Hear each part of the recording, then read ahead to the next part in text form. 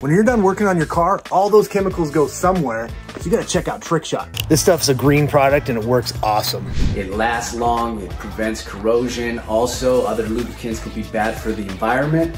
This is 100% biodegradable. This unlocks seize parts, it cleans, it degreases, it doesn't smell nasty. Trick Shot Machinist, it reduces friction for prolonged tool life, improves your tool performance. It's also 100% biodegradable, non-flammable, food grade, it's non-toxic, exceptionally cleaner cuts. Right here, got one of the Seez bolts. I didn't have to put heat to it or anything. Um, I'd recommend this. It doesn't smell bad. You guys should check it out.